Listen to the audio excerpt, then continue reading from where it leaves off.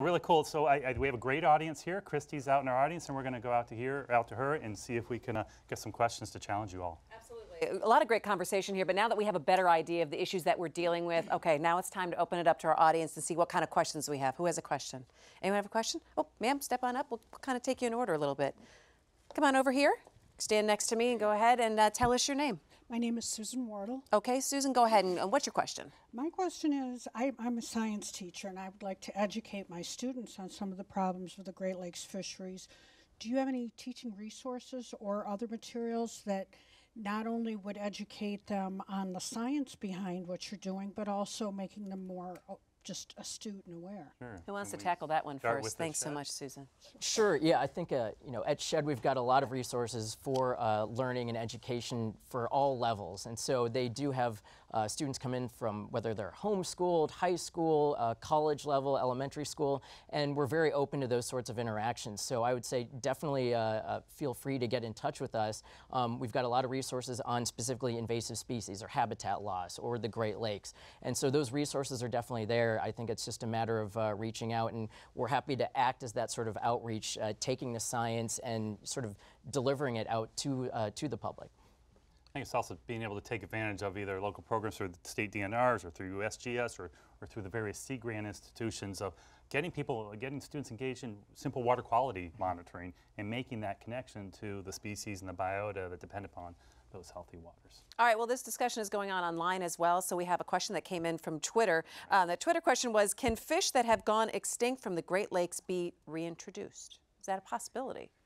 We were talking a little bit earlier about some fish that have uh, rebounded or reintroduced in, in specific lakes. Yeah, so in Lake Ontario, there's been a couple examples of this where, um, you know, if you're not able to rebuild from the current population that's there because either the species isn't there at all or there's such a limited genetic variability, you can, you know, work with the other, uh, you know, the other agencies and try to figure out what would be a good potential uh, match for a donor source. So for our lake trout restoration efforts and for this um, bloater restoration and lake herring, um, we need to do things like that. So it is possible, but you do need to take into account that maybe you know it wasn't the same strain that was Right. originally in this lake, So and, there and could keep be a, an eye on a- a it. local lake ex- extirpation or extinction, but if it's a present or a similar cousin or associated species is present in, in another lake, there's simple just a translocation over there. But it's we not have necessarily lost, simple, but yeah. yeah, simple.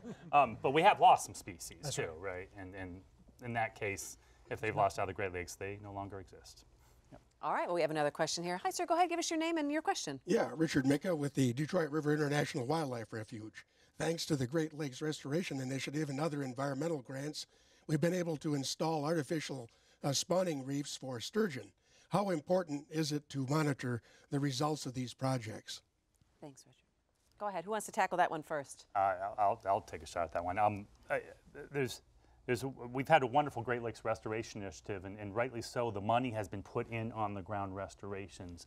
I am a firm believer that we need to connect a suite of the other efforts through internal funding of agencies and organizations to measure and monitor the impacts of those. We need this to me is a big, a big test that we're putting on the landscape, and we have to make sure um, that we're getting the results, we're getting the payback, we're getting the return on those investments that we say. So the monitoring to me is, is has to be one of the high priorities. Yeah, I was just going to say it's important to know that if it doesn't have the predicted effect, it doesn't mean that it's a failure. I think the approach we're going to learn from and approaching it from the habit, habitat side, we're going to see a, a lot of things happen that we wouldn't have thought about. So uh, monitoring is key, and then also responding to those changes. What could we do next in, in terms of a reef restoration or a coastal wetland project to benefit native species over invasives? Solomon, did you have anything to add? Because I know you're working on some projects too. Yeah, I think I, I want to re-emphasize that uh, monitoring is extremely important. So we can put out those restoration efforts, but unless we keep track of them, I, the Great Lakes, you know, take some time to rebound sometimes. And so, uh, like USGS has 40-year data sets, and so sometimes we not see, you know, the response right away. So it's important to find out what's going on, you know, five years from now, 10 years from now, 20 years from now. I think that's extremely important. It's not just, you know, let's put it in for a year, three years, and then, you know, hope for the best. All right, who else has a question here? Anyone else want to come on up? Go ahead, Patrick. You want to finish your thought I while would we have also our next just question? add that if we don't monitor and measure, we'll never know when we reach our goals.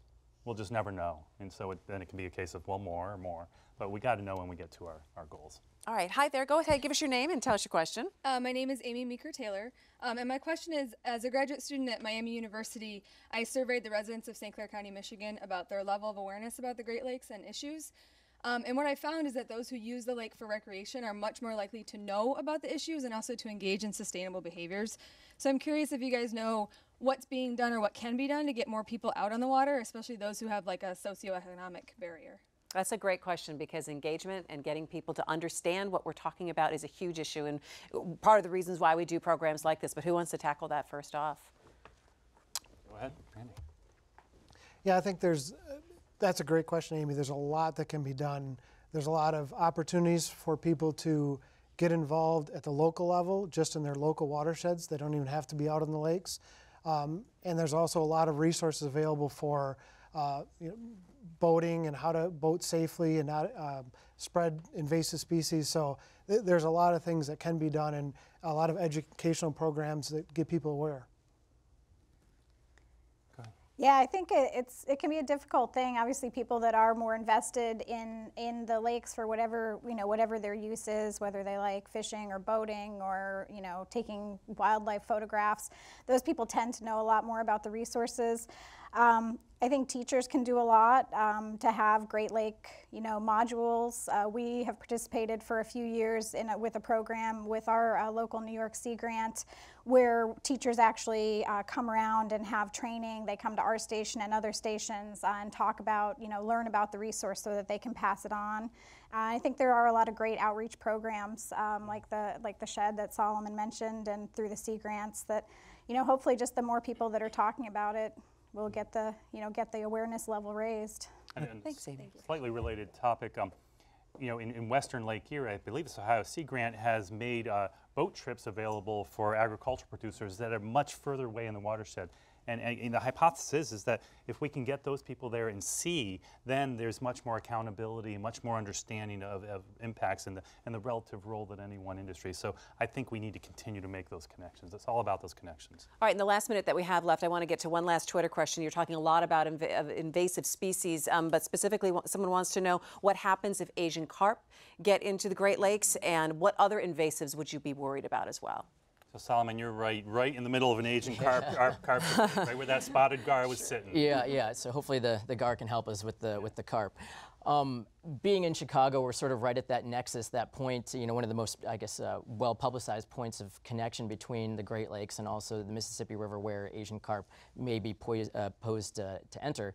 Uh, what we can do now is just monitor, you know, continue monitoring for if they, you know, can get in. It's important to point out that they have not established a population, as far as we know, in the Great Lakes. So preventing that invasion is definitely important and uh, continuing to monitor the habitats that we have in the Great Lakes as is to know how they can be resistant, enhance those habitats to resist invasion.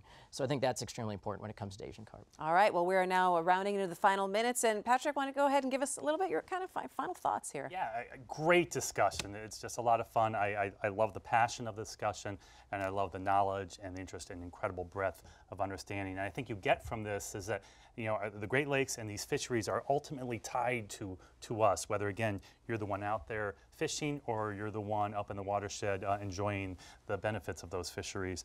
Um, but again, it's, it's a perfect opportunity. We have lots of opportunity. We talked about the advances in restoration, the advances in tools, the advances in techniques, the advances in education. We are at a moment now where we're seeing great opportunity um, for restoration of a native component of fishery that's going to add a stability um, and diversity to this. So thanks a ton. If you want to learn more, you can go to nature.org slash glfish. And back to you, Christy. All right, sounds good. And that is going to do it for Great Lakes Now Connect. Thanks to Patrick, of course, and all of our special guests, plus a big thanks to our studio audience right here at Detroit Public Television. We hope you've enjoyed our conversation today about Great Lakes fisheries and that today's show has inspired you to find out more. So just go to our website, greatlakesnow.org. All of the information will be there for you. Plus, you can share this show with your friends. For all things Great Lakes, you can follow us on Twitter and you give us the old, you know, thumbs up, a like on Facebook.